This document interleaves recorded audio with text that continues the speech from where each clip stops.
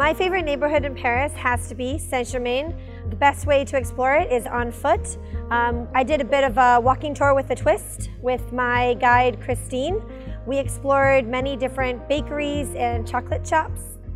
It's a vibrant neighborhood around every corner. You've got cafes and people spilling onto the streets. I love to have a glass of wine sitting outside of a bustling cafe where you can watch the world go by. I particularly like the area near the Aligre Market where you can watch the locals pick out their fresh fruits and vegetables or pick out an artisanal baguette to bring home for their meal.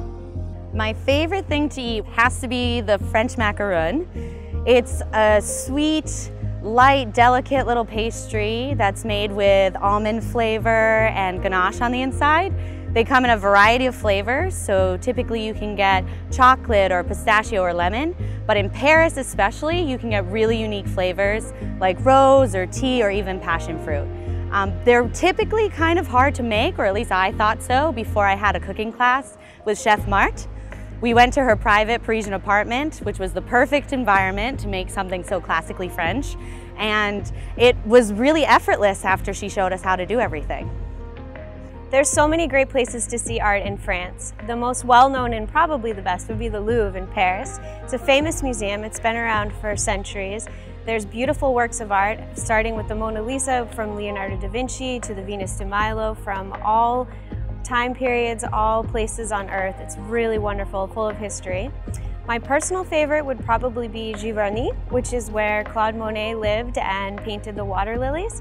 You can actually go and take a tour of his home and see the gardens and the beautiful lily ponds. It's absolutely gorgeous. They have replicas of all of his famous works and also his personal collection. Visiting the D-Day beaches in the American Cemetery was an extremely humbling experience.